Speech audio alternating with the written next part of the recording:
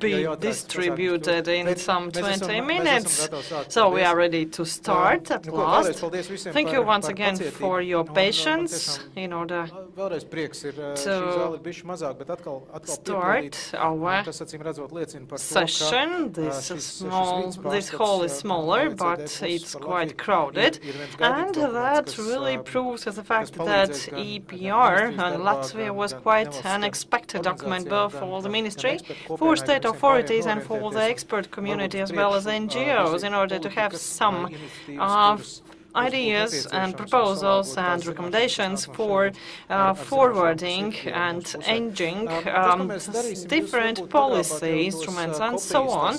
So I hope that you have had uh, taken the copies of executive summaries and of the reports. So we will cover chapter between 1 and 3 and 3, number 3, whereas uh, these uh, chapters were more specific, uh, requiring another uh, event, and according to the ministry, I understand that that specific problems will be a topic for a uh, workshop or even conference in autumn, and we are paying our attention and focusing on chapter number three.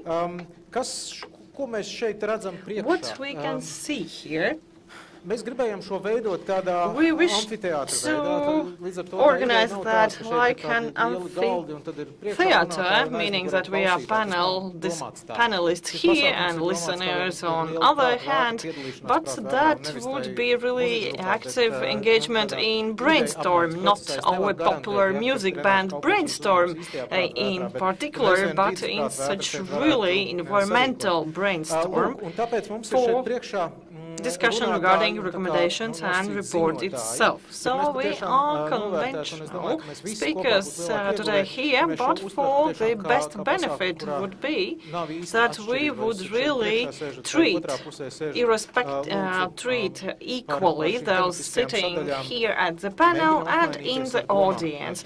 And this is really the forum or platform for exchanging our views for dialogue, not a monologue from the experts. And therefore, please, uh, if President is elected, notify everybody else. That will be one exception only. This is what we'll try to do. I would like to introduce our front people, so starting from the OECD team who had participated in the report and review. So apart from the general presentation, it was already provided by uh, the minister, but now we would really have a deeper insight by Ms. Ivana Capozza and Natalie Girouard. Um, Ms. Ivana was coordinating uh, the review on Latvia, and we have uh, Deputy State Secretary of the Ministry of Environment Ms. Alda Ozola, and the first chapter, conventionally, we have uh, uh, 90 minutes uh, to cover three topics. And first chapter is called uh, uh, Environmental Governance and Green Growth in general terms. So then Mr. Jānis Brizga from NGO brīvība or Green Freedom, and we will listen to him on his vision regarding that specific chapter. Then we have Green Growth and Policy planning as chapter number two of our discussion, and we have uh, intergovernmental uh, coordination center, which is a state authority uh, to coordinate the cooperation among different stakeholders in public sector.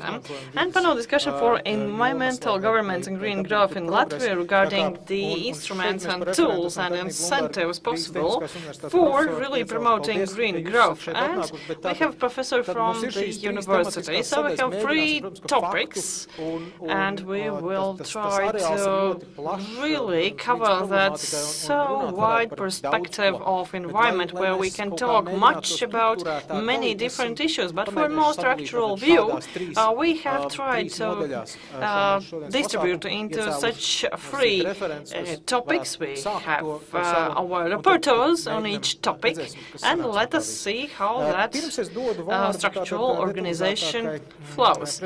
And so the floor is passed over to Eh, kungu mums eh, vēl vienus, eh, Minister, sakot, ceļamaizes vārdus dot. Jūs runājāt jau šodien, bet, bet šis ir... For some šeit ir, šeit introductory words, as our community and audience is directly linked and associated yeah, with the environment, therefore some more specific address would be needed.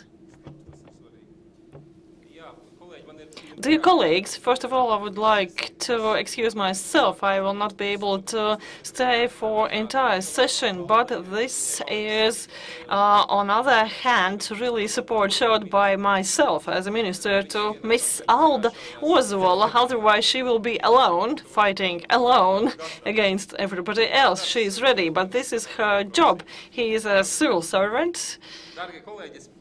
Dear colleagues, first of all, I would like to use our opportunity to extend my gratitude to the team of OECD, as this is the first EPR for Latvia, and we should ask why OECD is studying and reviewing uh, environmental um, factors and aspects.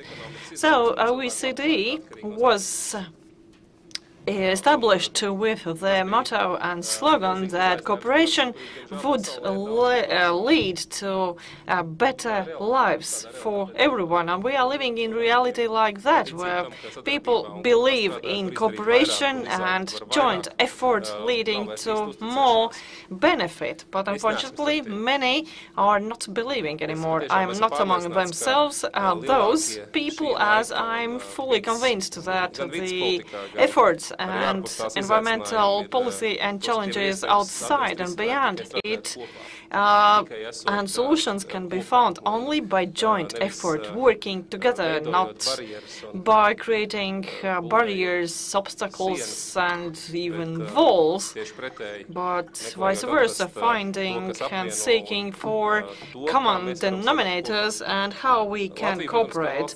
Of course, Latvia is among the countries uh, being a part of a common system. We are proud of being a part of a Western common organizational model OECD. Well, partly represented by OECD as well, but with all the benefits provided by such membership in uh, the organiz international organizations like that, and why OECD is talking about environment, about uh, G20 in Davos is discussing environment and climate, although they haven't done so in the past.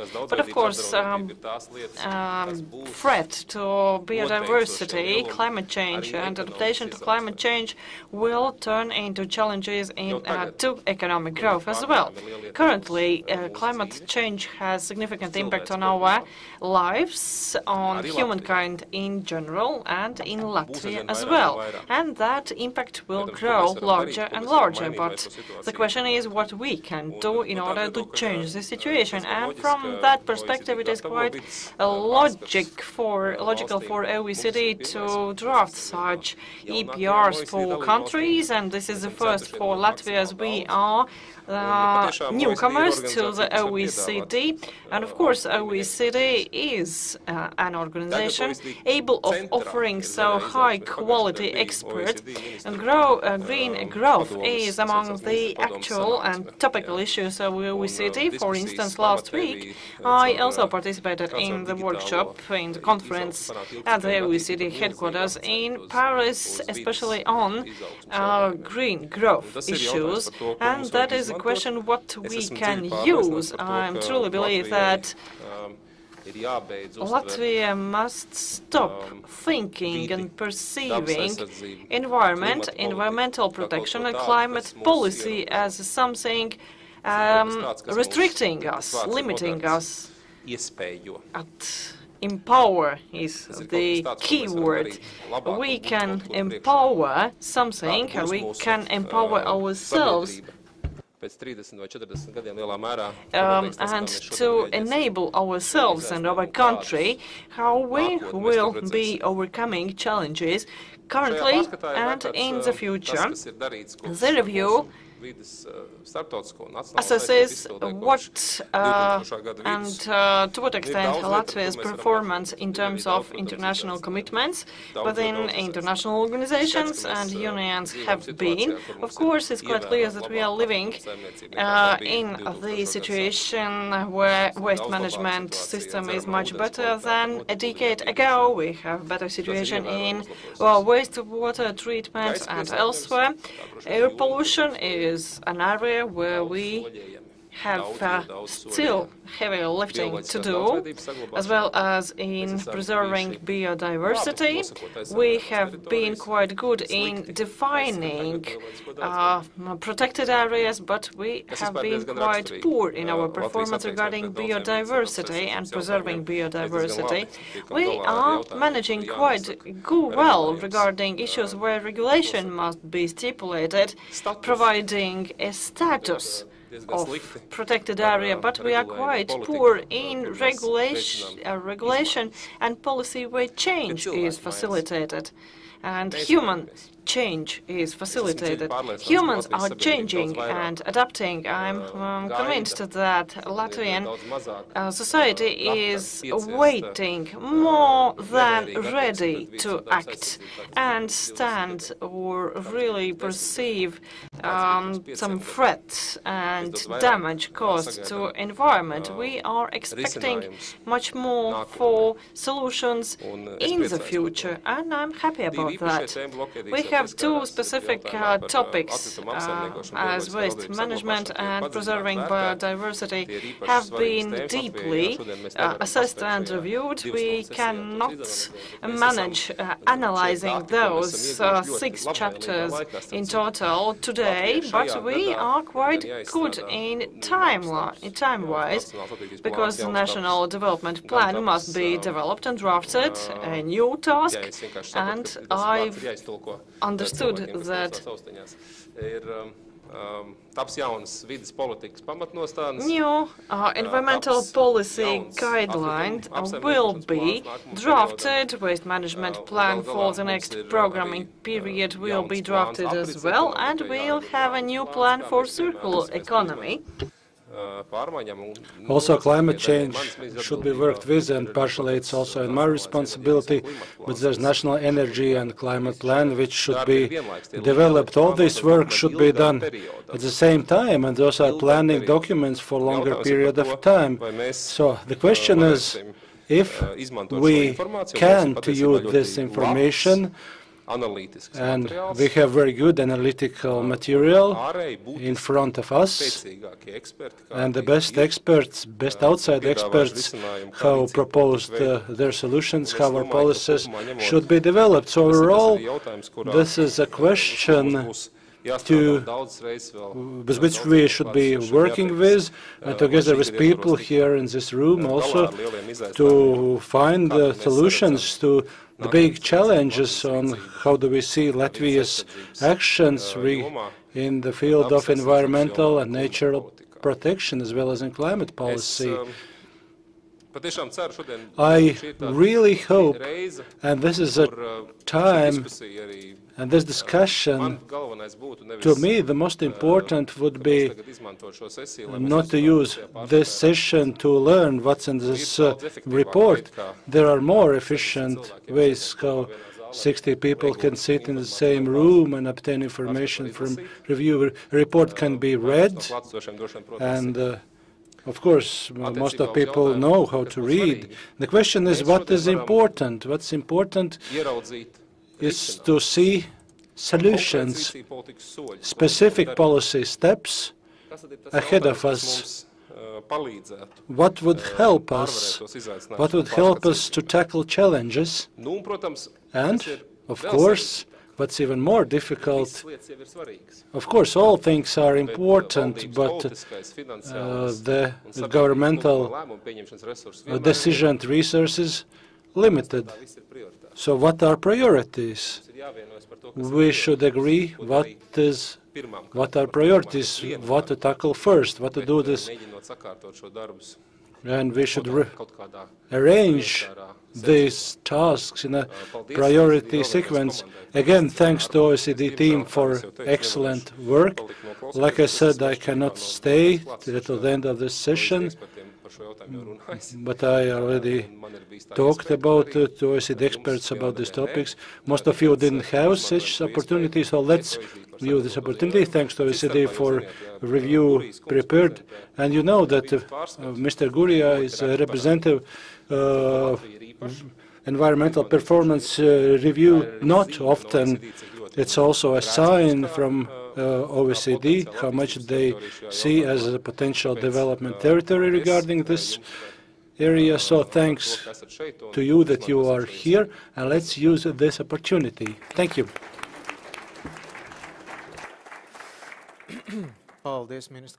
Thank you, Mr. Minister.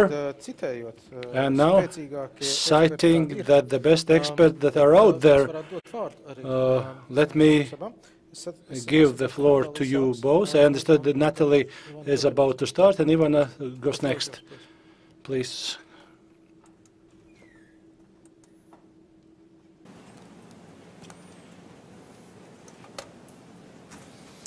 Good afternoon, and um, thank you very much for uh, organizing this. And we are really happy to uh, to be in Riga now to uh, go into more depth in uh, the main uh, messages that we have uh, in the review.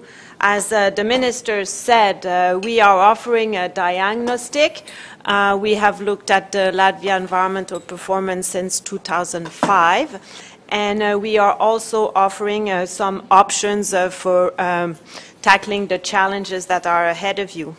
But as the Secretary General said, you know much more than we do about what is good for Latvia, and um, the next phase will be in your hands uh, to uh, decide what are the priority uh, recommendations that you want to put forward and how to implement them is also in your hands. So um, with that being said, I will uh, start with uh, the first part of the, uh, the presentation, and uh, Ivana will do the, the next part. So I will go uh, over the environmental performance, so come back quickly on decoupling, on uh, climate mitigation, air pollution, waste and water management, and touch upon biodiversity.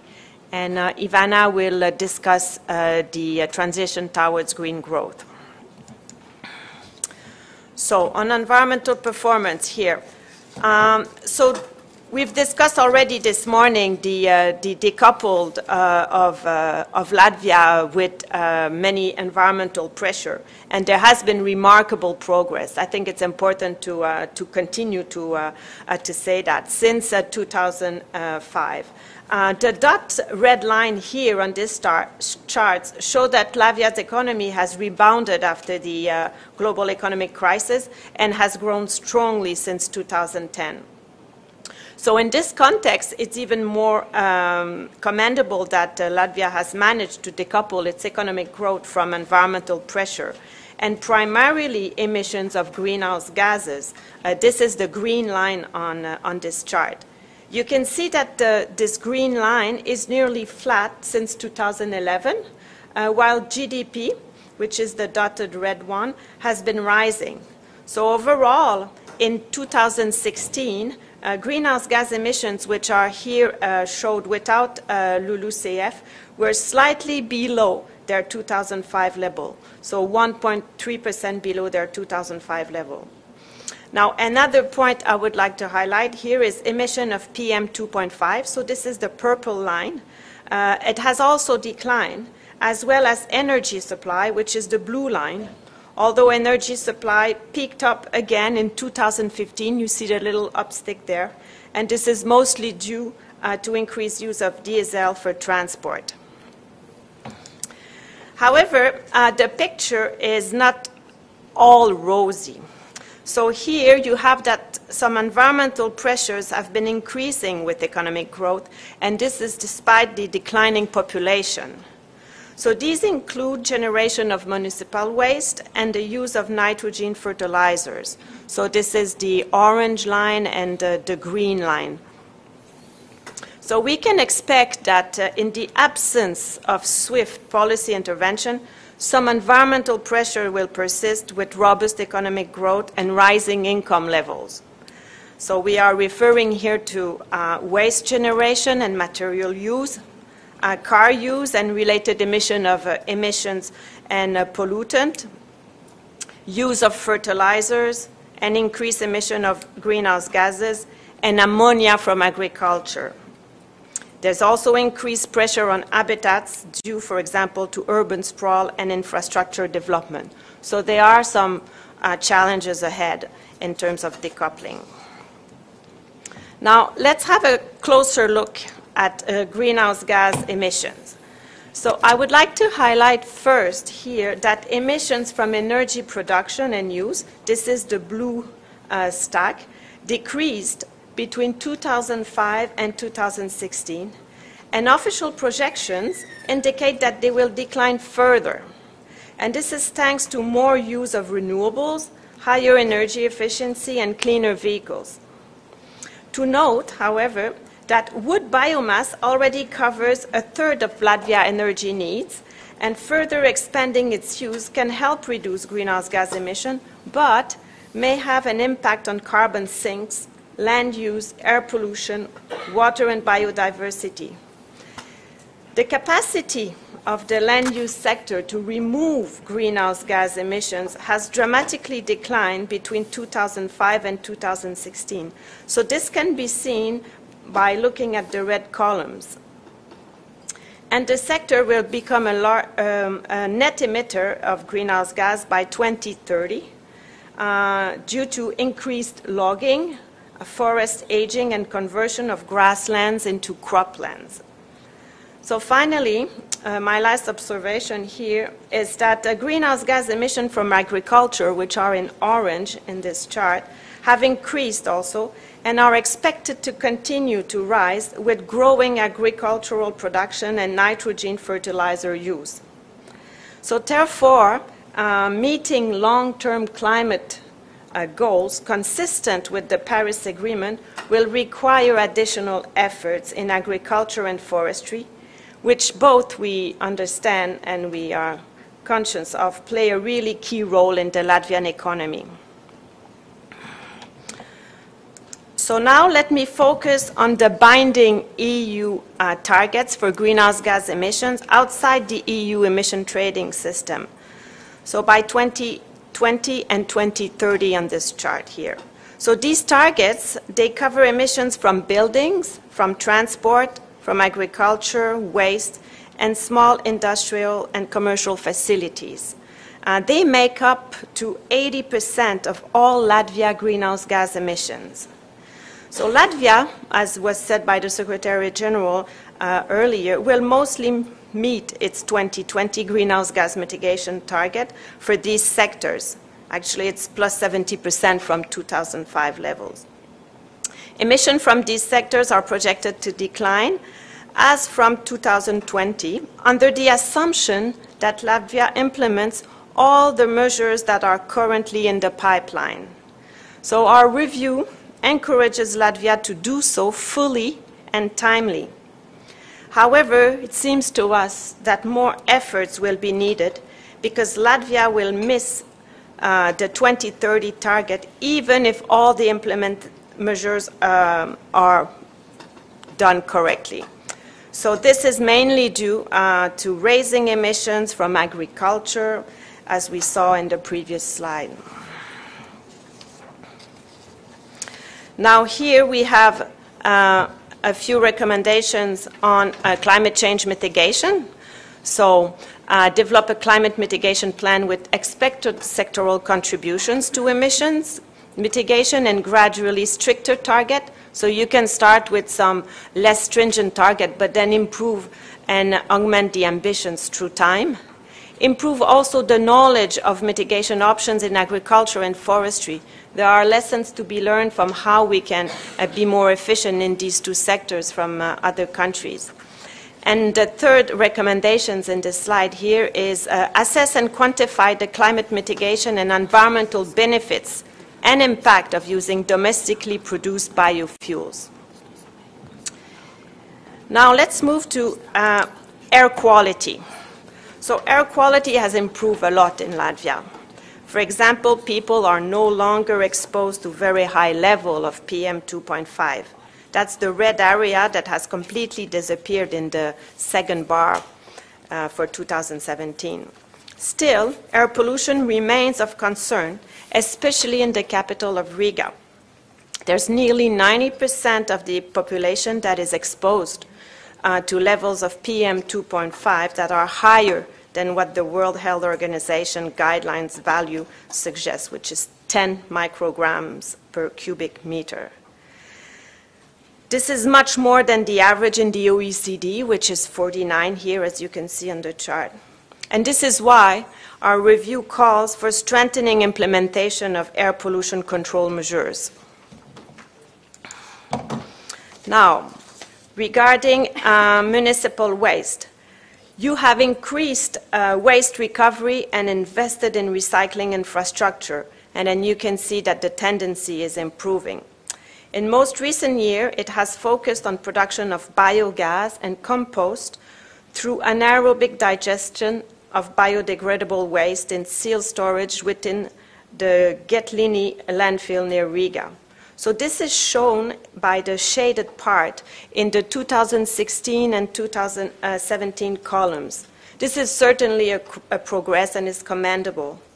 But it still means that most waste go to landfill and only about a third is recovered. So there are countries like Germany, Denmark, Finland, and Sweden where less than 10% of municipal waste is landfilled.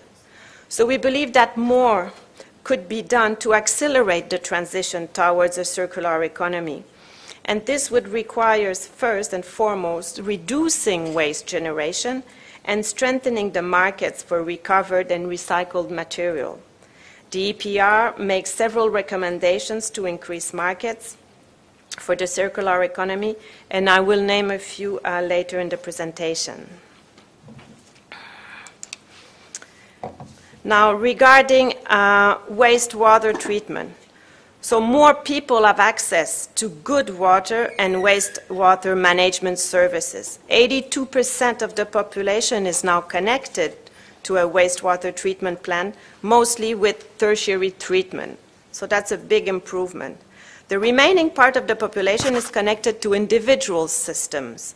In some areas of the country, these systems are not fully adequate to treat wastewater and avoid pollution. In addition, investment is still needed to upgrade the aging water infrastructure and ensure that access to good quality services in rural areas is there. So wastewater discharges and diffuse pollution from agriculture, for instance, exerts increasing pressure on water bodies. So this is a challenge. Now let me go to biodiversity. That's the last part of my presentation. I have a few slides on these. So here uh, you see that Latvia has exceeded the 2020 Aichi target for protected areas with more than 80% of land area under some form of protection. And more than 16 of marine waters under protection. So this is commendable. However, less than 40% of protected areas have a management plan, and most of them suffer from chronic lack of human and financial resources. So connectivity between habitats could be improved. Uh, to date, there have been only few green infrastructure initiatives.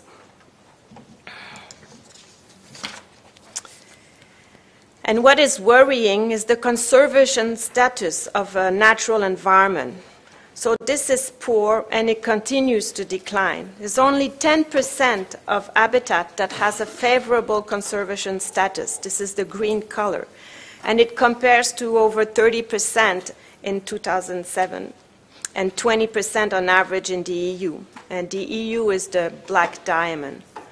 The types of habitat that are suffering the most are forest, grassland, and peatland. The main pressures are land use change, fragmentation, again, infrastructure and urban sprawl, pollution, and agricultural expansion. So the conservation status of species now has also worsened over the years. So public financing for biodiversity conservation grew significantly in recent years from 2014 to 2017, but we believe that it's not enough uh, to address the pressures on ecosystems and to effectively halt biodiversity loss. So the EPR makes several recommendations uh, to enhance the effectiveness of uh, biodiversity policy in Latvia, and I will name a few shortly. So this is my last uh, slide, well, my last two slides, uh, on the recommendations on environmental management. So the first part is on air pollution, so improving your air quality monitoring system, enhancing the effectiveness and updating the air quality programs that you have in the Riga metropolitan area. Regarding waste and circular economy, uh, certainly improving the transparency of extended producer responsibility system, encourage investment in high-value domestic recycling, strengthen the market for secondary markets and recycled goods, some tools exist like public procurement and increased regional cooperation. And uh, in this area, uh, having a good integrated information system that covers all waste and materials management is really helpful uh, to be able to have an informed policy design. On water, um, complement EU funds to ensure sufficient investment in upgrade water infrastructure make sure that independent wastewater treatment systems comply with environmental standards. And on biodiversity, as was already mentioned by the Secretary General, um, swiftly develop your biodiversity strategy and put resources, human and financial resources around that. That's a key priority. Um, evaluate the economic value of biodiversity and ecosystem services and the cost associated with their loss it helps to have good numbers to uh, support the reform effort. Uh, develop management plans for protected area and especially for the areas where there are species that are threatened and extend the use of uh, economic and voluntary instruments for biodiversity management, especially for the sustainable use of forest. So I will stop here and give the floor to Ivana. Sure, yeah.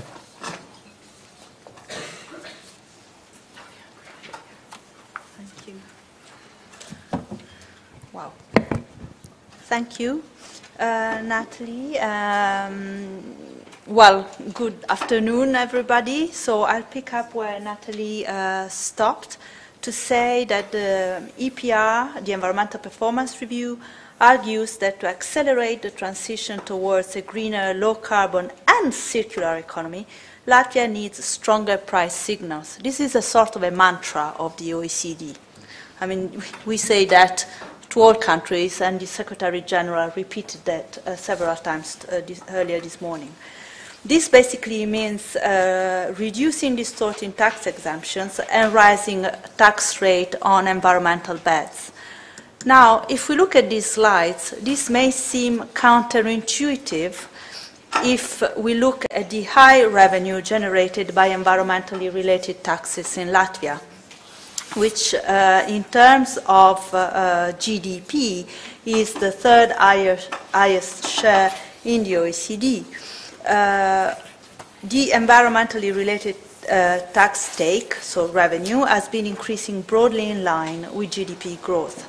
But high and increasing revenue from environmentally related taxes uh, is not necessarily an indicator of effectiveness. And uh, we can say, or our review argues, that green taxes have delivered few tangible environmental outcomes and have only marginally moderated energy, vehicle, and resource use. And these two charts here provide an example.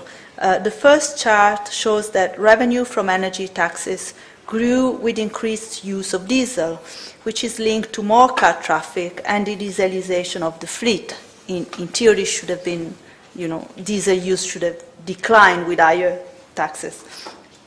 The other chart shows that revenue from vehicle taxes rose because more vehicles have been sold since the end of the economic recession. The number of cars per capita in, uh, in, the, in Latvia is among the lowest in the OECD, which is a good news. But actually, with rising income levels, which is also good news, cars, uh, the, the, car, the car number is expected to increase. And we hope that the increase will be towards cleaner vehicles because as things stand now, uh, close to 80% of the car fleet is over 10 years old and normally older vehicles pollute more. Uh, but also the newly reg registered cars in Latvia, it's, it's the chart, well, here, uh, um, is uh, it, it also the, the, new cars in Latvia are the second most carbon intensive cars in the EU after those registered in Estonia. We understood earlier this morning uh, in talking with the ministers that actually the comparison with Estonia is particularly relevant. So, um, but uh, they, they also, the, the, emissions of cars is also uh, above uh, 95 grams of CO2 emissions per kilometer, which is actually the, the horizontal axis and which is the target, the 2020 target. So it's very hard to get to this target.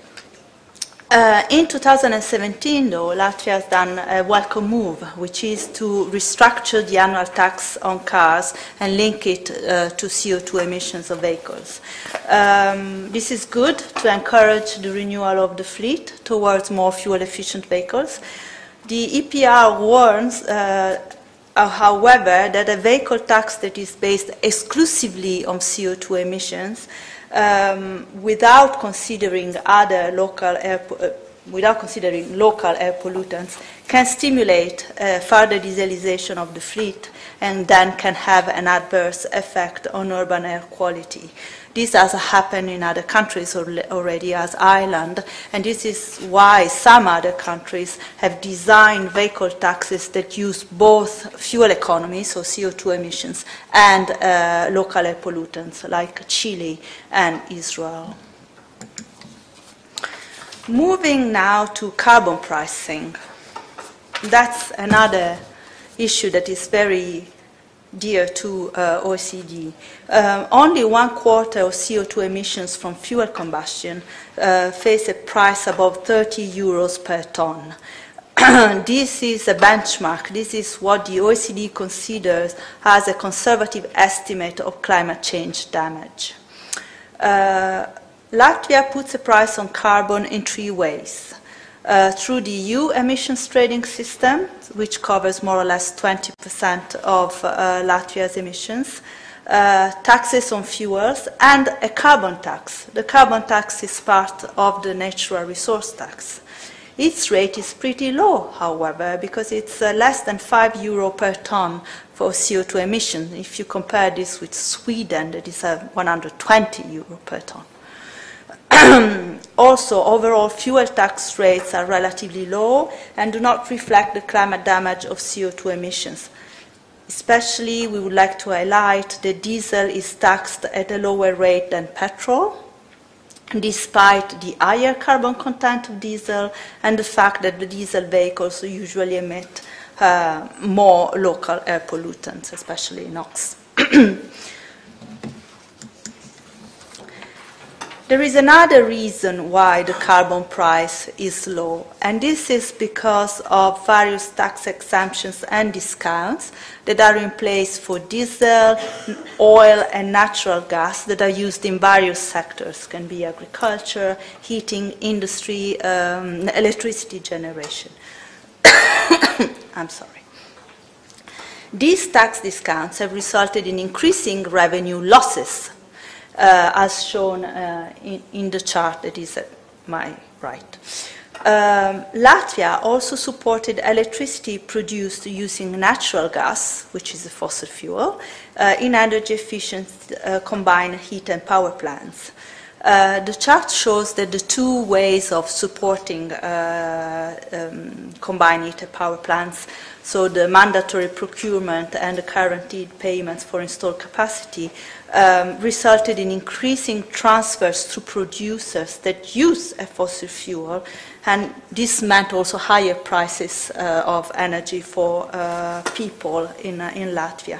We understand that the system is now on hold um, and, and is being revised. Um, both forms of support to fossil fuels, so both these charts, I would say, tell us that there's something that undermines the carbon price signals and especially runs counter to energy savings objectives. So it discourages saving fossil fuel energy. price signals are weak also in the waste sector. So we focused on energy, now we move to waste. The landfill tax uh, in Latvia is still too low to encourage recycling and investment in alternative waste treatment technology. This chart shows that in countries that have a higher landfill taxes, less waste goes to landfill. And you can see Denmark, Sweden, Finland, but also UK and Ireland. the landfill tax is, is planned to increase, and this is a welcome development. Uh, but this increase may not be enough to create the conditions for expanding the markets of secondary materials and recycled products. So these slides uh, put together the recommendations on, uh, on what we've seen so far. The review recommends to implement a broad green tax reform made of several elements. I'm not going through all of them because of time constraints. Uh, the key message is that a green tax reform, a broad green tax reform, would help encourage more efficient use of energy, materials, and natural resources, but also raise revenue that could be used to finance the country's high spending needs, for example, on health, education, and infrastructure investment, as we will see in a bit. the review acknowledges, and this is the last bullet point, acknowledges that there are problems in Latvia with energy affordability and that raising taxes and prices will have an impact on low-income households. This is not a reason to stop because in a broad green tax reform, these issues could be addressed uh, also via the so social, targeted social transfers.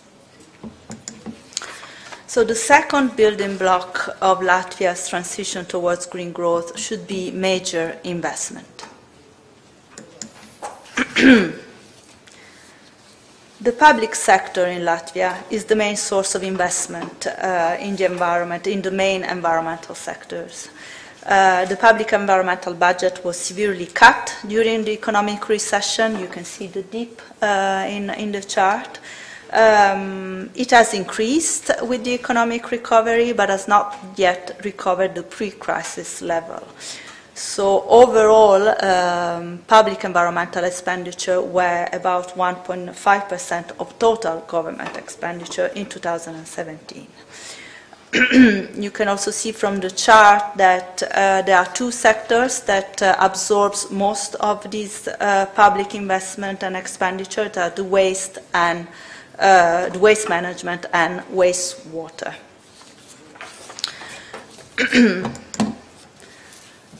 so you will know that uh, environmental that, that, Latvia has benefited a lot from uh, EU funds um, and actually environment related investment rely or have relied on EU funds um, this chart shows that in the 2014-20 uh, period, nearly a third of EU funds are allocated to uh, environment, uh, uh, resource efficiency, low carbon economy, climate change adaptation, and risk prevention.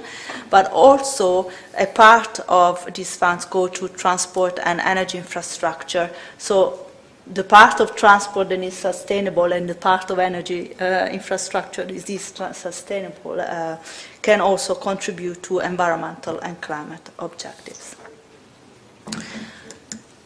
On the private side, however, um, environmental expenditure uh, has declined since the mid-2000s, especially in terms of investment, which is the orange uh, bit.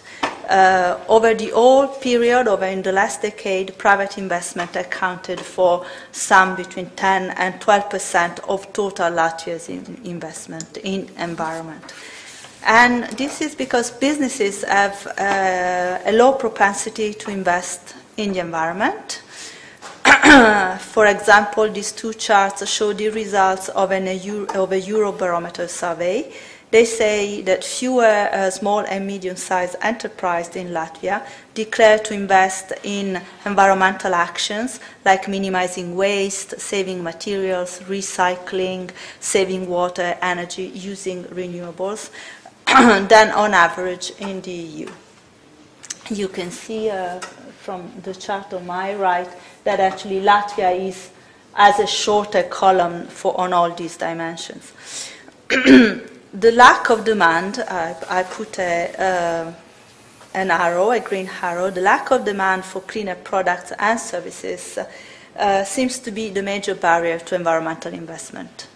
This indicates that the current policy mix of regulations and market incentives, so the EU ETS carbon price, the carbon tax, the fuel taxes, um, all these market incentives have not stimulated business in investment enough. And this brings us back to the need of strengthening price signals. Um, business have an incentive to postpone investment uh, and wait for public funding opportunities. Uh, but this has a risk, and the risk is that public funds are used for investment that would be made anyway, so even without public support. Can you tell me how much time do I have? Yeah. So I will just, uh, I will, um, I will highlight uh, a few messages on transport and energy. because despite heavy investment, uh, investment needs remain high, especially to provide good quality services to rural area. Um, the quality of transport infrastructure is relatively poor in Latvia, uh, even though Latvia has the longest rail, uh, rail network in the Baltic states. Uh, you know, most trains run on diesel and roads are still unsafe uh, and of poor quality. At the same time, uh, car traffic has markedly increased. I will skip the number here, but I will tell you that this is partly linked to the lack of uh, um, public transport between uh, Riga and its neighboring um, uh, municipalities, which means that many people uh, commute to Riga to work by car. there's not just Riga, there's also peripheral areas and rural areas in which, uh, you know, buses have difficulties to, to, to provide services at low cost because the population is sparse. so public transport is definitely a challenge. Energy efficiency in houses is also a challenge. Uh, is still uh, consuming um, apartment buildings in, uh, in Latvia still consume much more energy per square meter than in other northern uh, European countries which face a similar mm, climate. There are many uh, barriers to invest in energy efficiency in buildings and the review provides some recommendations on how to address and overcome these barriers. On the brighter side, I think this was said already um, today. Latvia is among the OECD leaders in the use of renewables. Most of it is biomass. This is also the result of the generous support system to renewables, which is currently on hold precisely because it was too costly and not particularly transparent. And also here, the review recommends how to improve that. And I will finish here and uh, with uh, a list of uh, recommendations that are about improving the cost effectiveness of public spending in Latvia to reduce the reliance on EU funds. Uh, there is a recommendation on an integrated uh, public transport system that links Riga to the uh, municipality in the metropolitan areas. There is a recommendation that in EPR is much more precise about the support renewable energy, uh, the support to renewable energy, and also a recommendation about improving residential energy efficiency. Now, I will uh, stop uh, here for time reasons. Thank you very much. Nu ko, paldies par šo Thank you for this detailed uh, report. Are there some uh, quick uh, questions to the speakers from OECD and the authors of these reports? Okay, they are coming. Let us to move to next part. We have 15 minutes time, so there are three blocks to cover, so 10 to 15 minutes to each. But uh, before I invite uh, Mr. Jānis Brizga to report, I wanted to, to do a quick survey Usually in conferences it's not recommended to use mobile phones, but let's try it nevertheless. Please take out your mobiles.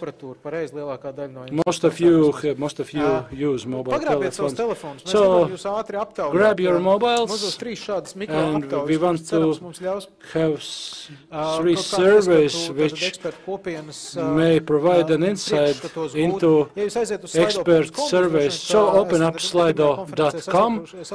I'm sure you know this uh, website.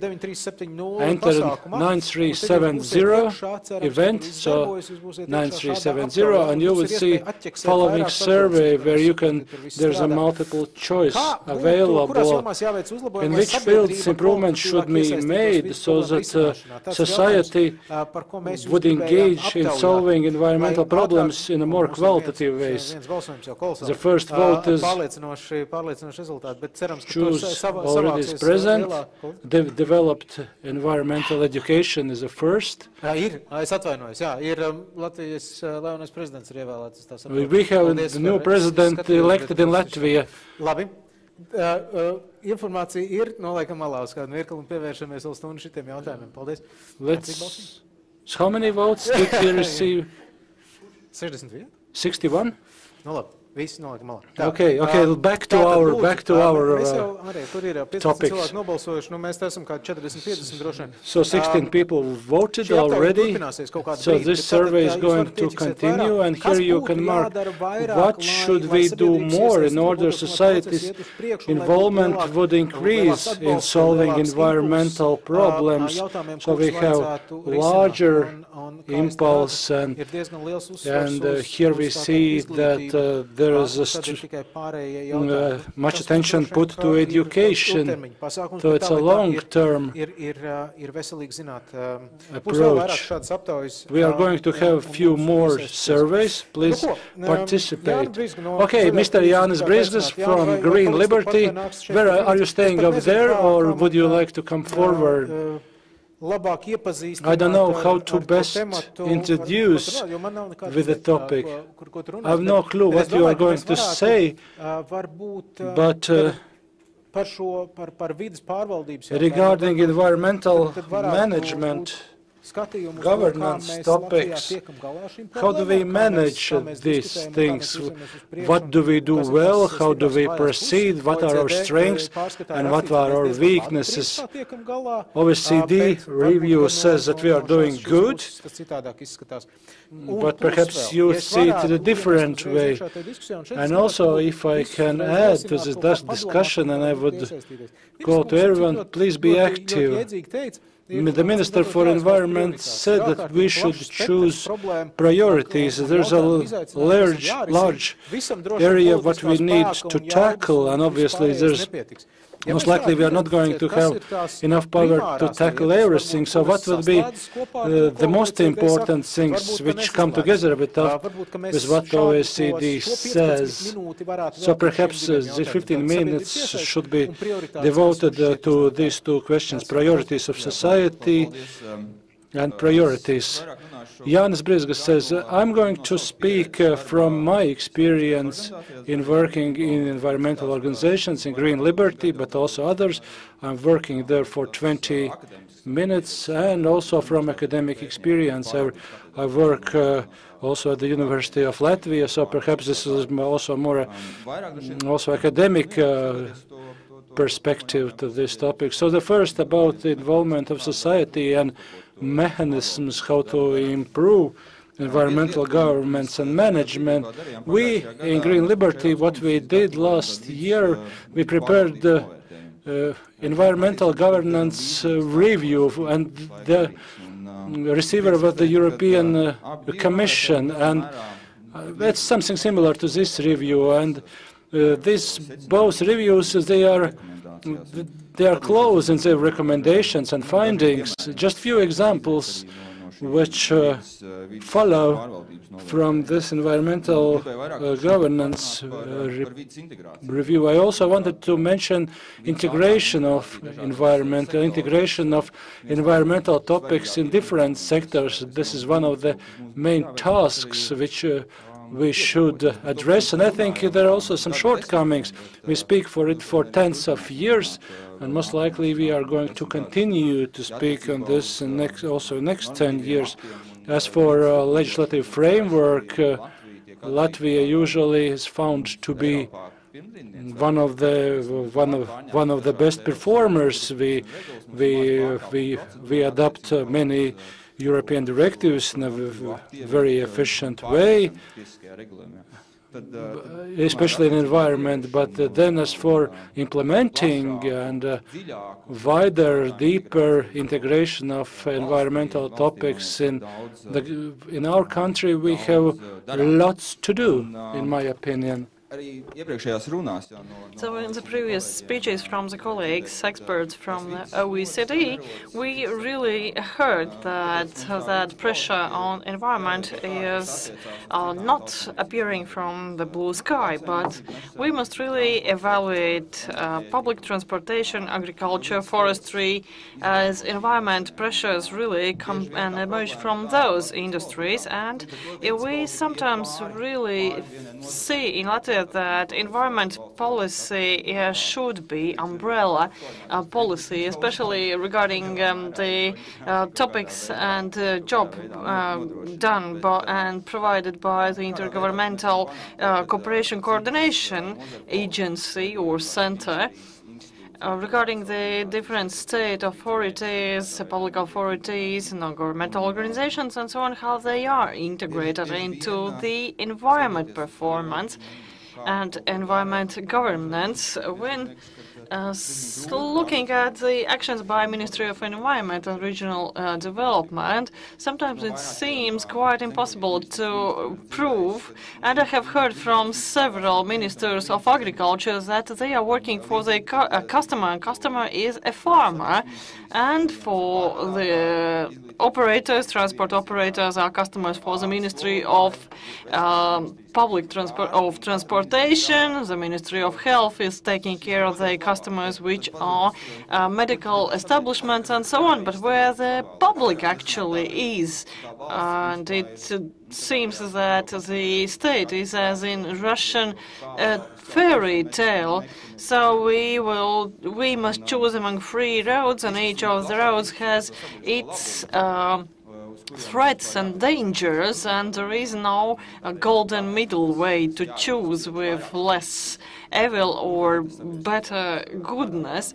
So what is the public interest and public good actually is, what public benefit would consist of, and if we are taking perspective of environmental sector, one of the approaches existing and used in the world is ecosystem services, and these are uh, turning natural values uh, into monetary means. So, to participate in the market, and we must uh, discuss uh, nature as a natural capital in capitalist uh, capitalism terminology. And this approach is much criticized because it's um, impossible to really uh, classify and define a value to some natural values and natural resources. Of course, we have several projects in the pipeline, but of course, policy um, and national policies and strategies use that quite rarely. So regarding priorities, I would like to uh, address that question to you as uh, you have uh, discussed that different countries. So uh, our challenge is that in different industries, in different sectors, it's really hard to integrate uh, the environment. The uh, Ministry of Environment is running around trying to persuade different ministries like Ministry of Agriculture and so on. Are there good practices uh, or good examples from other countries? Some conclusions already made in several countries. I have participated in different events. We are repeating that uh, uh, every sector is quite isolated, and uh, there is now such comprehensive approach. Would you have any recommendation regarding that? Some good practice, good example where environment would be really umbrella uh, policy for all other sectors to be integrated? Mm -hmm. it seems I didn't say so long. it's fine.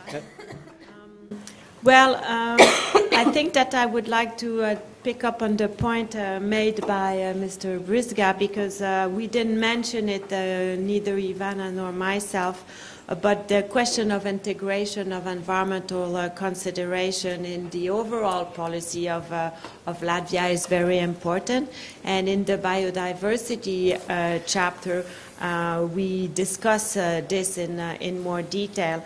And I would like to say that, uh, for instance, one thing that we do uh, recommend is that uh, the forest policy strategy that uh, uh, will be developed uh, next, well, it should include a long-term vision for sustainable development, and it should take into account the consideration of the environment. So it means that uh, the Ministry of Agriculture and the Ministry of Environment and the other Ministry of Economy and others that are involved in this have to work together to come with a sustainable vision for the role of the forestry sector that will deliver uh, the benefit in terms of income and in terms of jobs, but also uh, be uh, sustainable over the, the longer term.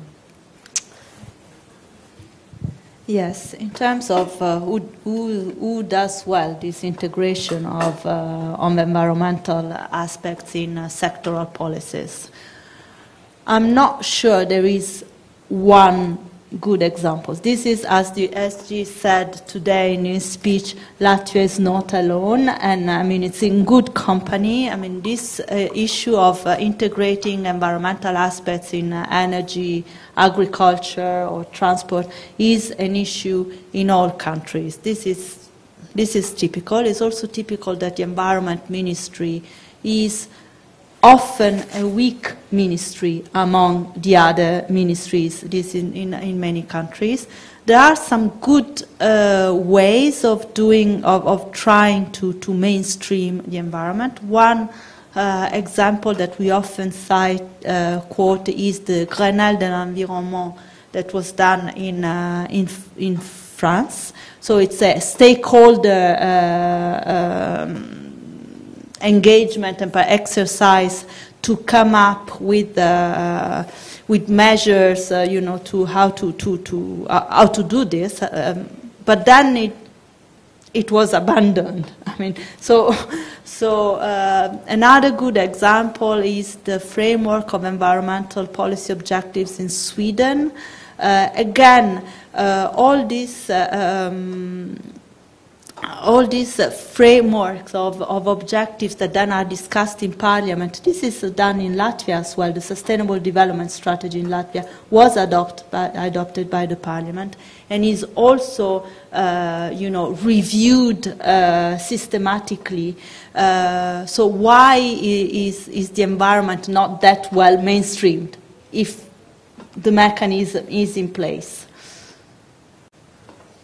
Political will. Yeah. so, so the mechanism is there. Yeah, paldies. It seems that political will emerges from the political demand, and that is a question to education and education system.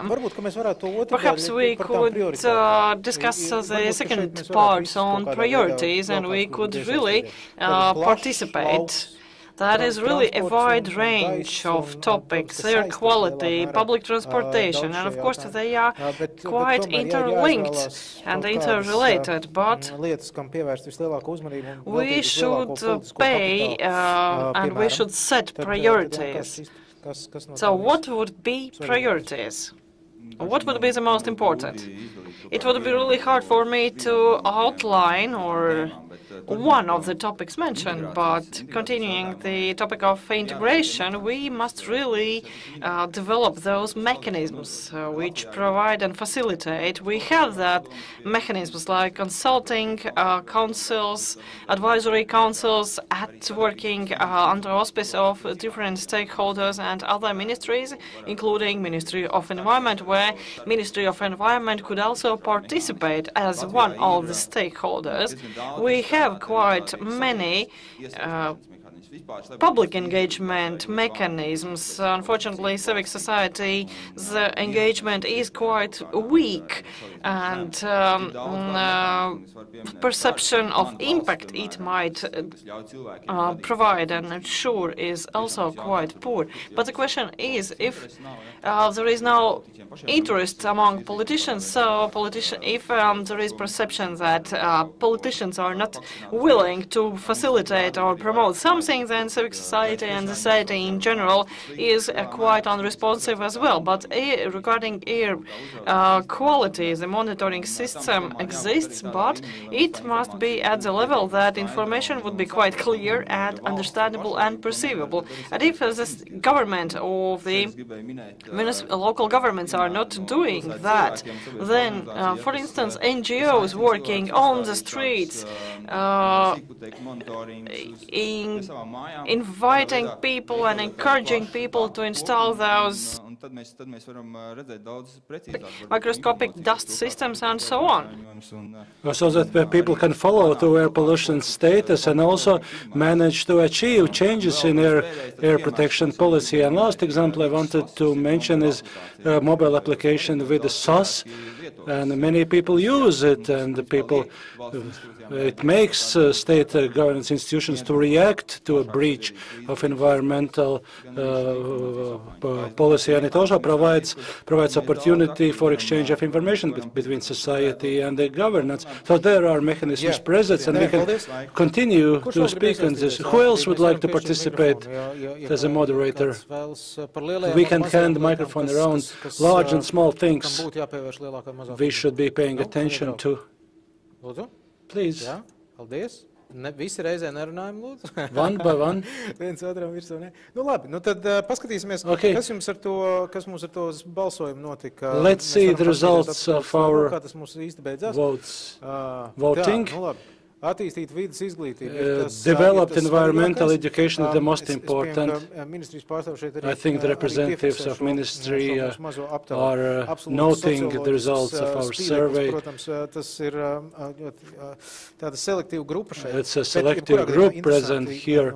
It's, uh, it's really interesting to hear from you. Can we load the, the next survey, please? Um, un tas mūs aizvedīs pie, pie nākamā segmenta ļoti ātri, kur mēs papratināsim. Uh, and then, uh, so we can come to the next uh, session and Mr. Vesper is about planning, how should we do. So I invite all present to go to slido.com and here's a survey the question is how, in your opinion, what is the most important loan of uh, uh, policy planning. The first one is uh, Nu, jā, nu, man te vispār tagad viss. Okay, it's, uh, it's, it's moving es, around. Es vairs neredzu, kurš bija pirmais. I don't know which was the first, which was uh, second. Pārskatāmība par rezultātu sniegšanu. Man šķiet, ka viena no lietām, transparency of results. I think one of the things which was present in the review was a recommendation jūsu centram lielāks pilnvars sniegt. To nu, provide larger, uh, larger rights to your center. So make you like a super ministry who would help to tackle this these topics. Bija viens jautājums. There was a question. There was a question. Uh, tas ir par šo tēmu? Nē, nē, lūdzu. Okay, please. Tas ir labi. Vienmēr ar, vienmēr ar mūsu auditoriem. Partially to this and also to what experts of Julia Gluša, Riga Technical University, Environmental uh, Institute. My question is what I didn't hear from uh, presentation, but perhaps it's in the big review. It's about intersectorial and cooperation, how bioeconomy topics were integrated or reviewed or surveyed, intersectorial cooperation. The second question, trend of uh, possibilities for cooperation, what is good, what's bad, uh, regarding uh, resilience to climate change. Resilience, jā. Resilience, jā. Ko lūdzu? Jā, klimata noturība. No. Ir kaut kāds, any comments on this? Vai ir kādi jautājumi? Uh, Lūdzu, šis ir vienīgais jautājums, kas mums ir no auditorijas. Mums uz to ir jāatbild.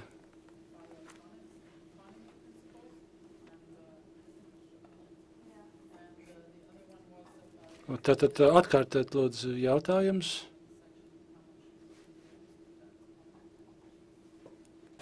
So the questions are whether the report, how and whether and how the report looked at these issues.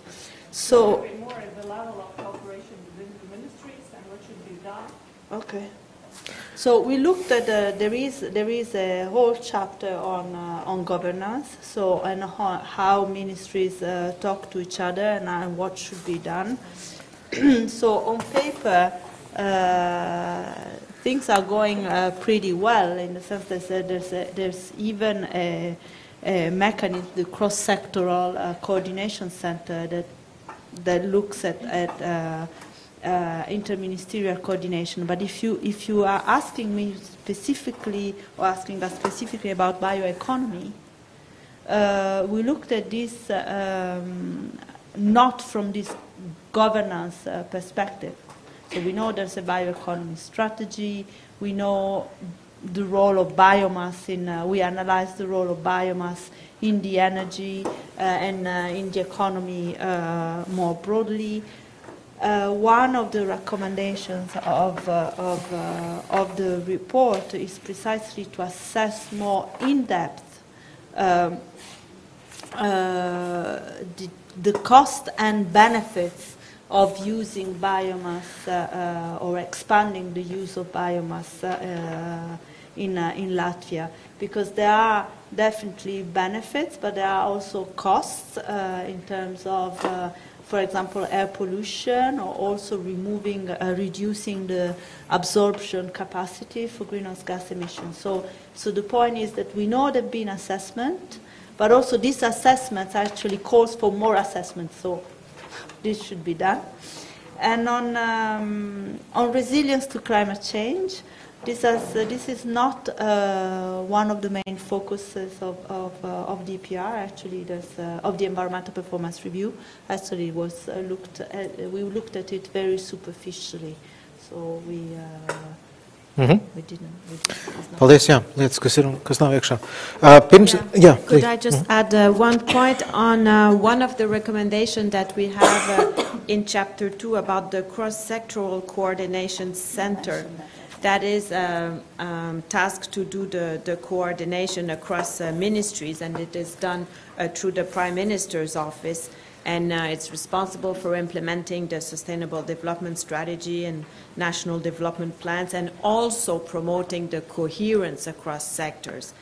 And uh, what we say here is that uh, uh, it works, they do meet uh, regularly, uh, but they only have an advisory role.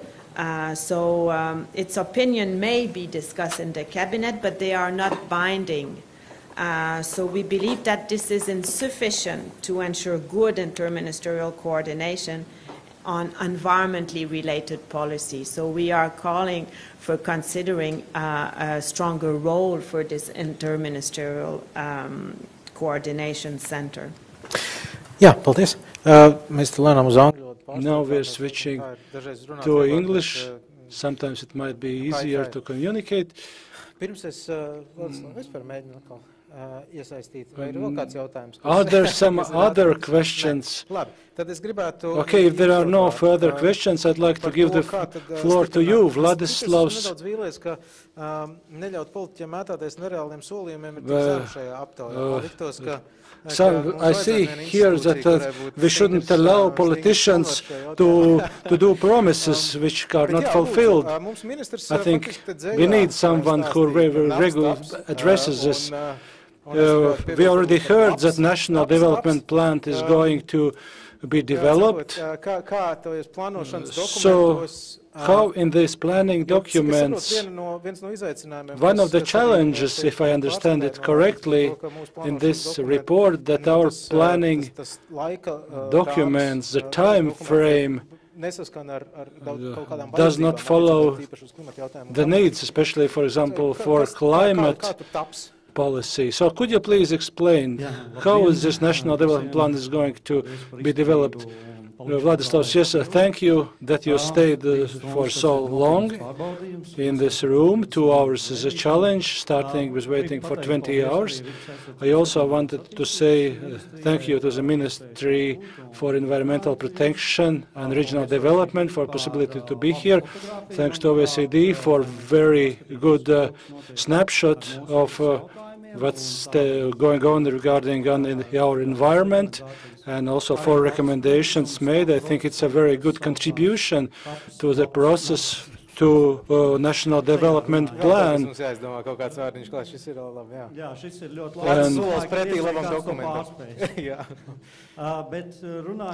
and uh, now, speaking in a more serious note and answering about uh, strengthening the role of uh, cross-coordinational uh, center. We can speak of different things, how it should be strengthened, but we should uh, be clear. It's not enough to say that something needs to be done, uh, but uh, also the action plan should be ready. Do, do we provide the rights of veto? Do we change status of ministries? Do we give some other rights in order this power can be increased in regarding certain questions. It should be more specific offer. Uh, currently, as colleagues from OECD already mentioned, we speak with National Development Strategy of Latvia. We are the ones who coordinate and supervise this process, and uh, there we also have uh, large opportunities to move in that direction which we see as the most uh, balanced and suited to national interests. Therefore, we can uh, influence uh, sectorial interests because uh, uh, ministers are the ones who represent these sectors.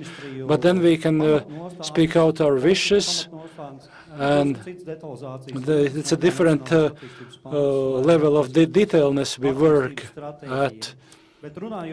Now, uh, speaking of today's topic, I wanted to cover it from two perspectives. The first is, is from planning uh, process perspective, and the second is green growth and national development plan. Okay, uh, national development plan is being developed. There's a hundred people team, six uh, working groups. Uh, we outlined the uh, action directions. Enough we speak what goals we are going to put forward. We didn't reach clear actions and measures on, on the reach uh, direction, but this is a time of few months to come to that point, and OECD recommendations is a very good contribution which we can use in this process.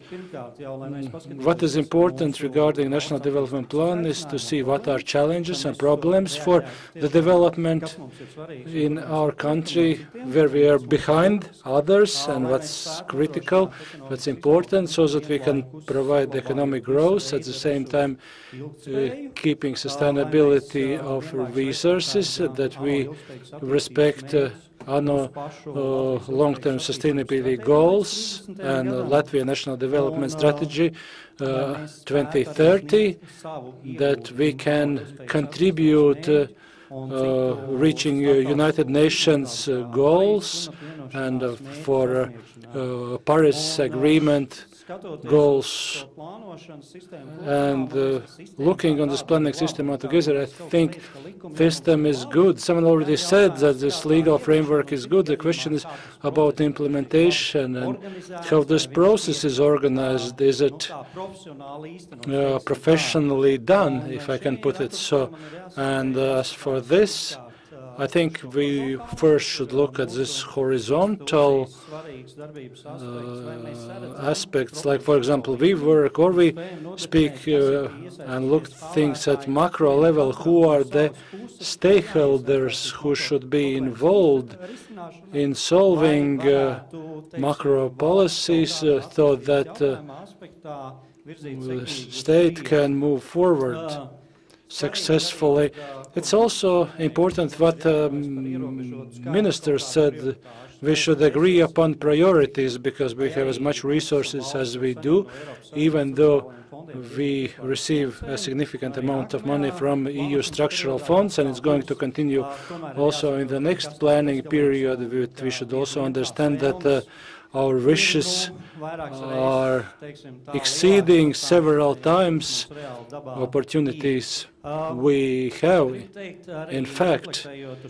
And now, uh, thinking of long-term perspective, I think we also should be speaking that the problem is not in the planning system. No one forbids us to put forward long-term plans, let's say until 2050, and taking this as an origin point, uh, and to take this as a basis for planning our plans until 2030, a longer term, and keeping this endpoints, where do we want it to be in 2050? Say climate uh, goals, say forest development goals and also other goals. It is important to speak of that, that it's very important to, for us to agree what are the goals are and how do they measure it. Uh, Mr. Stiglitz said that uh, what you measure determines what you do, and if you choose wrong uh, measures and goals, then most likely you would not be doing what you really need to do. And uh, here it's important to choose indicators which are internationally can be compared and which according to our national development level are the most significant. There was also a question of politicians, mm, so they do not promise what they do not deliver.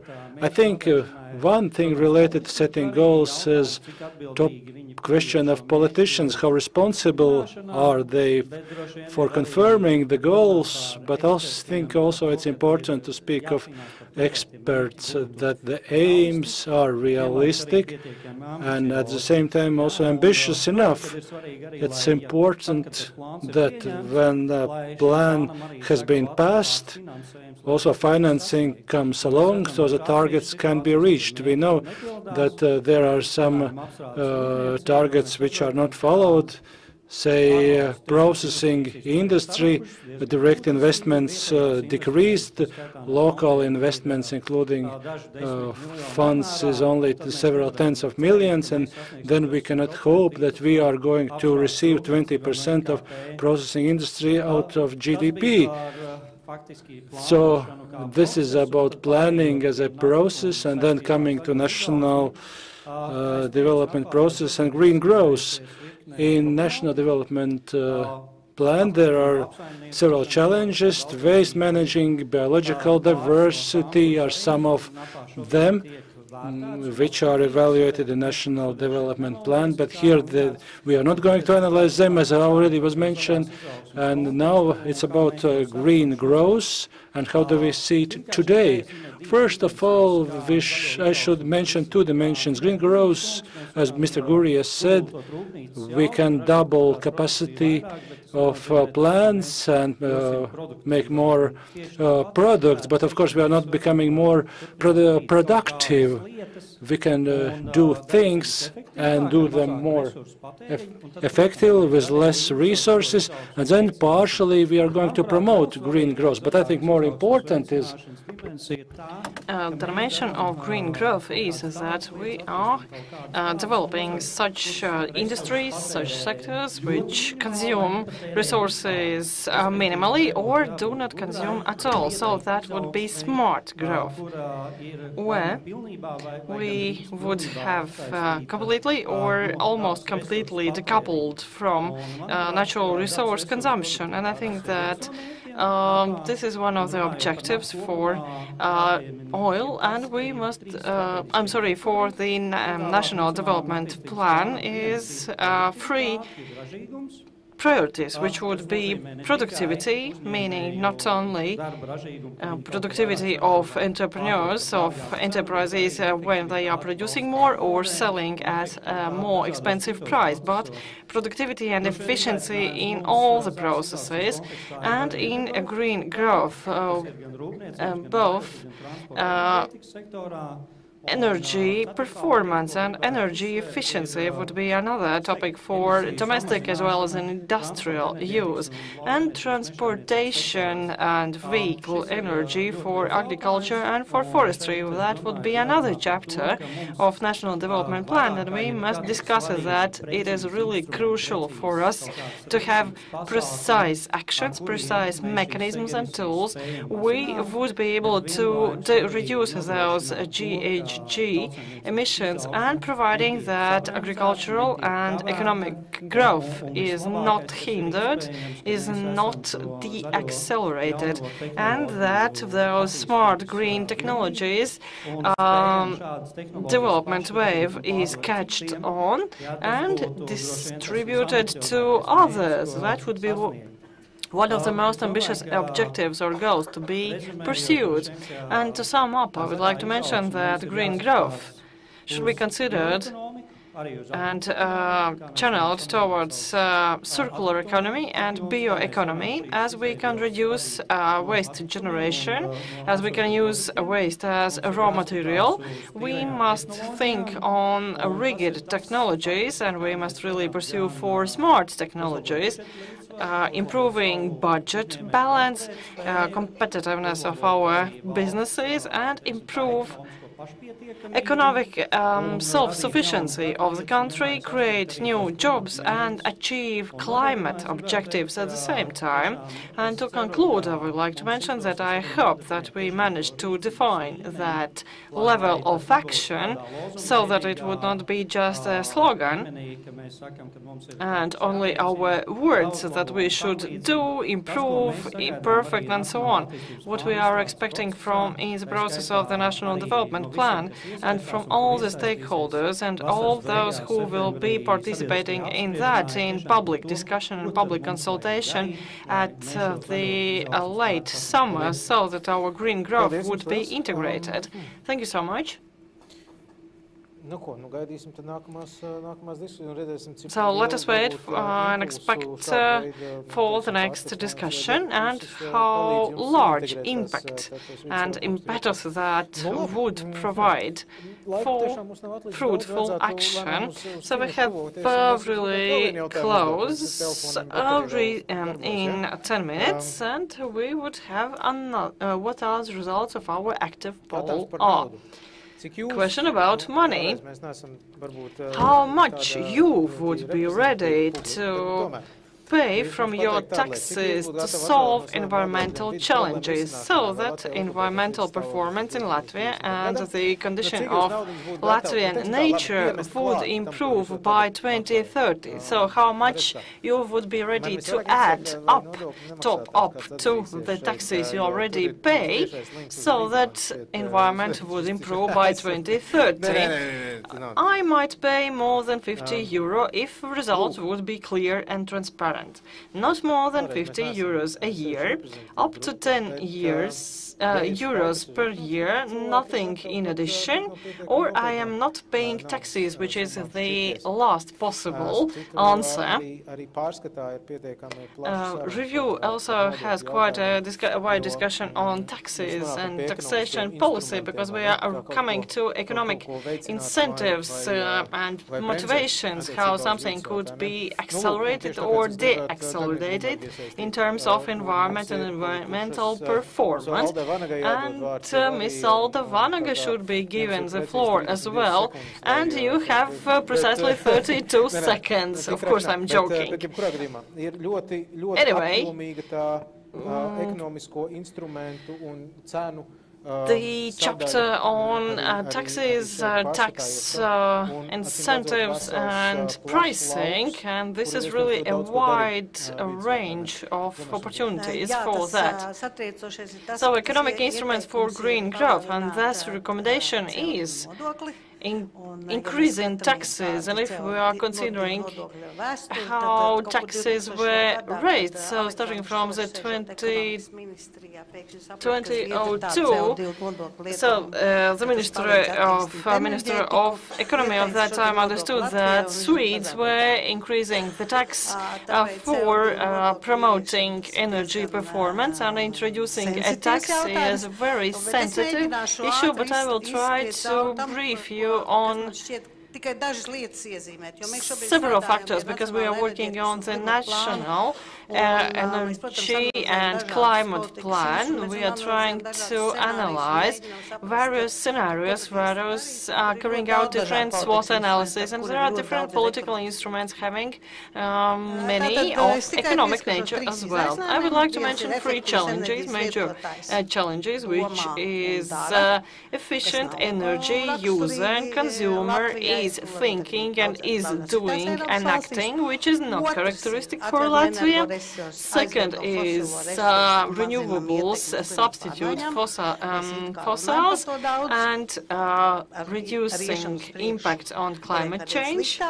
So uh, we understand that environment is uh, becoming worse and worse, but uh, the last challenge would be not to burn everything that could be burned.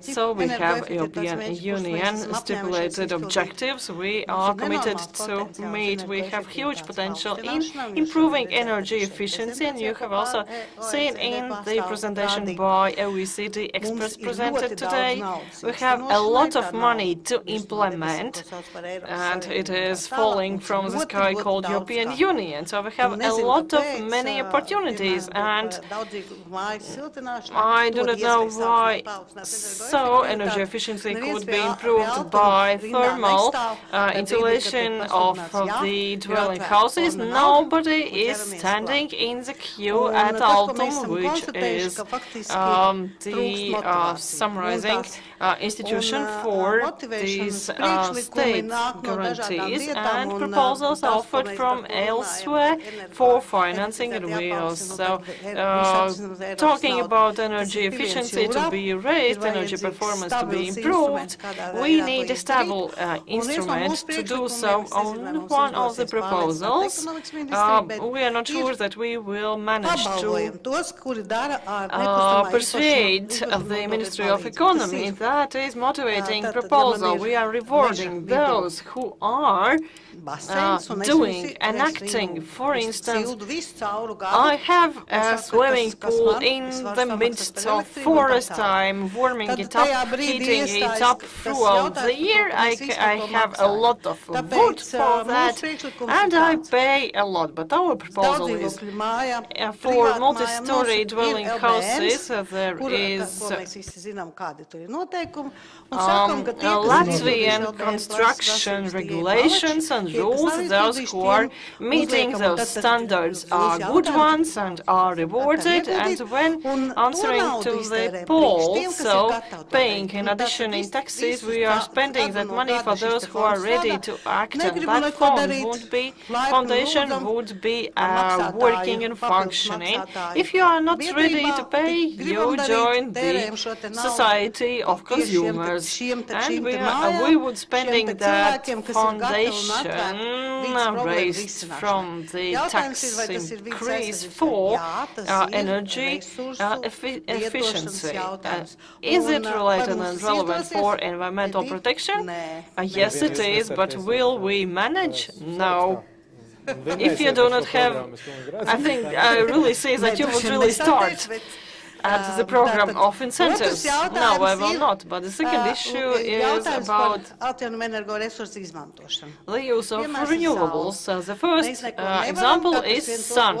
We cannot do anything, and somebody says again that is the sun really bright in the sky in Latvia? Yes, it is, because in Sweden it is already widespread technology, population is very active in that. But we are complaining about that we do not have sunny days, but actually we have a lot if compared to other countries because we have clearer air and we can um, absorb on one uh, solar panel more intense energy than in other more sunny countries where the air pollution is more.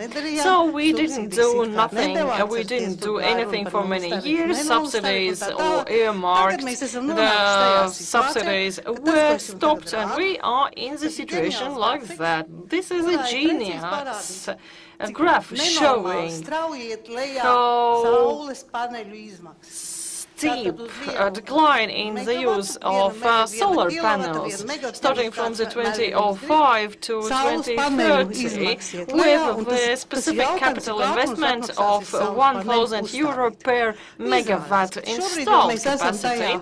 Uh, currently, we are, we are not, uh, we are not very greedy, we are not making and installing bigger solar panels and so on. We are installing the capacity we actually need for covering our energy needs. But it depends on the health condition, how long a person would live. And the question is, what is renew uh, the future of of the renewables. Most probably the sun, but not everything will be covered by sun. And what other proportion would be? There is wind, we cannot build wind farms because population uh, do not like them because they are really hindering uh, natural sceneries and landscapes and so on. So if you remember when one of the hydropower plants were built on uh, Daugava River in Daugavpils and there was a Latvian saying for that, that better in wooden uh, shoes and very poor, but without a hydropower plant on our river Daugava. So we have at the same situation again. So and we must build our wind farms on land. And the question we have uh, friends of nature, they are saying, no, no, no, that is burden, there is impact, we cannot afford that. Please think how many factories we have built and how much our national economy has uh, lost if really good large-scale projects were uh, failed instead of promoting uh, development of our country. And another scenario is circular economy. We can, can we uh, sort waste, we could do so earlier, but there are many things to invest more. We can recycle them, we can uh, produce products with high value added, we can do much, but we are still discussing, talking, we are not based on discussions uh, based on scientific research, on scientific discoveries. Who among you knows that rotten bread can be used for bioplastic? Who knows that uh, dry bread can be used for sugar production? And if we are looking around what we are uh, wasting in the waste bin. And we are asking the question why neighbor is not doing so, why the Ministry of Environment doesn't make us to do so, and so on. But it depends only on us. And information and knowledge is the basis for everything. And if we are speaking about economic instrument, that is a tax for not separating waste. And if we are discussing opportunity of tax on that, everything, everybody would be against. the Ministry of Finance, the Ministry of Economy, and so on. But perhaps we need some stimulation and motivation. Perhaps we could really associate in some kind of associations of friends of like-minded people, like grants and subsidies for recyclers and for producers. For instance, somebody really starts processing dry bread into sugar or rotten bread into microplastic products, that would be really great, and that would depend on politics only.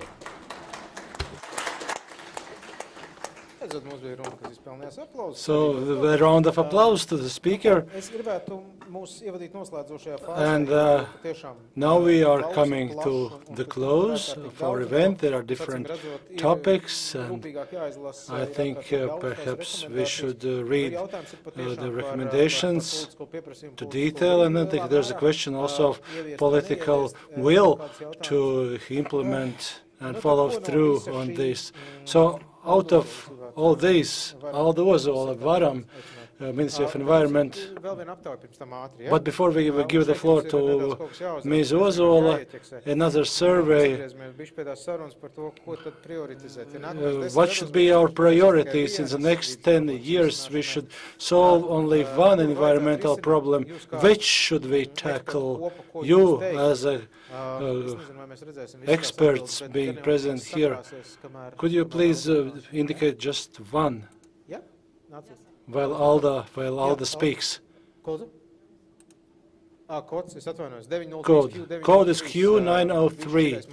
Q903. Can we enter the system? Q903. Come back in to the active poll. And then you can answer also to policymakers. Okay, Alda. Now the summary to all of this. I think it's very an easy job after such a long and prolonged session, but the main things which we should uh, take home. Well, indeed, it's not very easy to sum up this. We've had a long day behind you, and and uh, focuses OECD uh, recommendation. Together there are 46 recommendations and up till now we have not tried to assign priorities to these and these are really different. If I tried uh, to classify, group these recommendations, there are topics uh, that can be solved through planning documents. We've heard regarding national development strategy, and these planning documents show what's important to the state, what's important to sectors, mm, and solutions would be provided, and largely at least partly it's up to uh, public servants, officials. In national development strategy, it would be important also some policy priorities. Perhaps you've noted that the climate policy over the last few weeks has done a lot and uh, changed their attitude towards this. So this political will, this abstract, uh, abstract notion we touched upon several times, indeed has an uh, impact on priorities. What uh, this and next year we are going to enter in this medium term documents. Second thing is uh, more practical, uh, not into details of waste and biodiversity. Time to time, it was brought up regarding CO2 tax and air pollution. Those are taxes. Taxes, uh, price signals for waste management, definitely for CO2 as well, for air quality, same. And this is a question if uh, there is wish to uh, uh, make uh, excise tax equal between uh, gasoline and uh, diesel, but this is a question which largely is going to be decided by politicians. We have recommendations by OECD on the table, and then we are going to move this, but uh, how long or how slow things are going to happen, there are many unknowns. As for biodiversity, I think we also should look into compensation mechanisms. One of the OECD conclusions was that uh, environmental taxes in Latvia uh, is relatively large in Latvian budget as compared to OECD average numbers, but the problem is that they do not come back into reaching, incomes do not come back into reaching environmental goals, and this can be changed rather in a relatively easy way. So establish a strong uh, feedback link, and there also was a question if you are ready to pay more tax, if you know where the money goes. Perhaps this could be easier to do just to establish this strong link, to show it, this uh, nexus between environmental protection goals and money. Now just another comment, how to integrate. Yanis has become his address. I think that each country had their own recipe. There is no the most successful approach, but what we see from other European OECD countries, there are ministries who also work with environmental protection. Those are becoming less and less. For example, in Latvia, we also cover uh, regional questions, digitalization. There's also some other countries, uh, they have environmental ministries together with forestry or agriculture. It's uh, depending on the specifics of each country, so, so there are different approaches in different countries. And this is a way to, to, to look upon things, perhaps. Okay, now we have uh, something to read. There are uh, near 50 recommendations when OECD is going to prepare next report in five, six years, if I understand. I understand we have implemented all of these recommendations. And uh, while interpreting takes place, I wanted to comment what happens with the recommendations. Normally, in five years' time, Latvia is going to have to report how what how, how successful are we with implementing implementing these recommendations. What have we done? We are not going to shelf them and let them dust so we are you going to use these recommendations. The moderator says, yes, I'm sure everything is going to be implemented. Thank you all for today. So there's a feed for thought. And I think this brainstorm we had hopefully materiāls, ar ko strādāt. is, is going to provide uh, also some new ideas to something to think and also create some political uh, pulses for things we all know.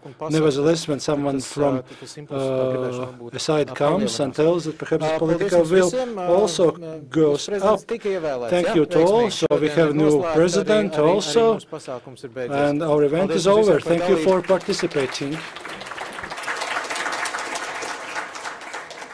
Un lai jums labi veicās šodien. Vislabāk!